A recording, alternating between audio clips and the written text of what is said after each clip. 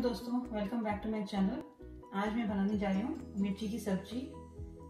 तो ये मैंने मिर्ची ली थी इंडियन शॉप से और इसकी मैं सब्ज़ी बनाने जा रही हूँ। इसको साइड डिश की तरह खा सकते हो, दाल के साथ, सब्ज़ी के साथ। और इसको कट कर लेते हैं और सब्ज़ी बनाना शुरू करते हैं। तो मैं अब इसमें पैन में मैंने ऑयल ले लिया है। मिर्ची की सब्ज़ी बनाने के लिए बहुत थोड़ा सा ऑयल लिया है मैंने। और इसमें थोड़ा जीरा डाल देंगे।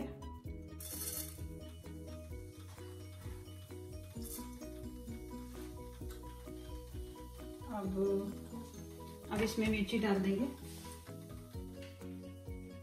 अब इसमें मैं जीरे के बाद मिर्ची डाल दूँगी।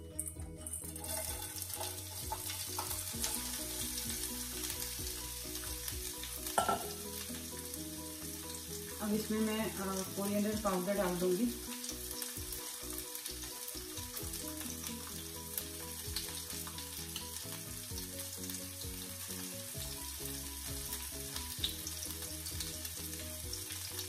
इसमें लाल मिर्च डालने की ज़रूरत नहीं है। अगर आपको थोड़ा तीखा खाना है तो और डाल सकते हो। अदरवाइज़ बहुत तीखा हो जाएगा।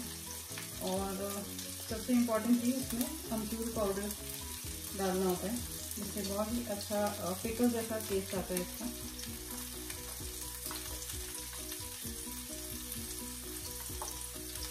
अब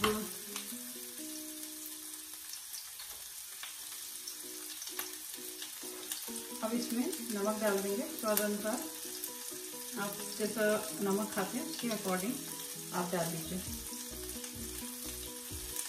अब इसको मिक्स कर लेंगे।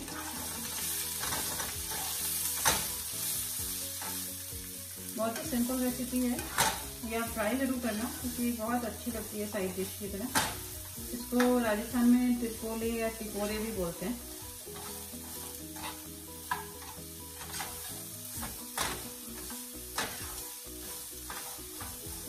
अब इसको ढक के स्लो हीट पे पकाएँगे।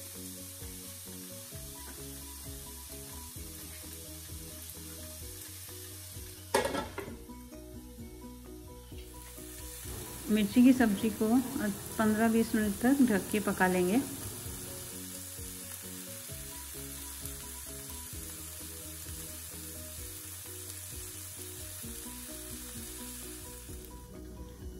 देखिए मिर्ची की सब्ज़ी अभी बन के तैयार हो गई है। अब इसको हिला के बोल में निकाल लेंगे। बहुत ही सिंपल सी रेसिपी है। इसको आप ट्राई ज़रूर करना और बताना कि कैसी लगी। Thank you for watching.